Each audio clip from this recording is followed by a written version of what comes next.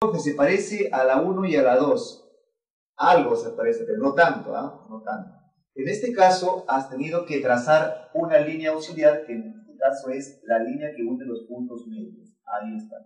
Cosa que, no solamente eso, está acá ahí está, mira.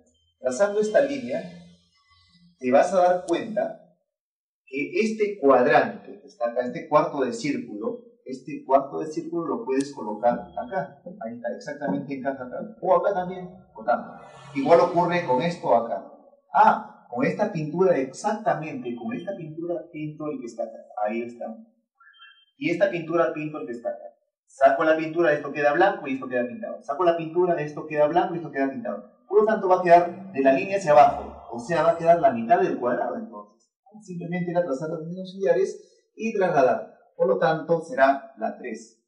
Estamos en la 4. Será, profesor, el área del cuadrado es la longitud de su lado. Pero no tenemos el lado. Sí lo tenemos, mira, ya está. En este arco de circunferencia, radio vale R. Al rotarlo, esto vale R y esto también será R. Ahí está, rota va a quedar. Por lo tanto, el lado del cuadrado vale 2R. 2R y su área sería la longitud de su lado al cuadrado sobre 2. ¿Por qué sobre 2? Porque solamente la, mitad va a quedar pintada. Operando ello sale 4R cuadrado sobre 2, 12R cuadrado.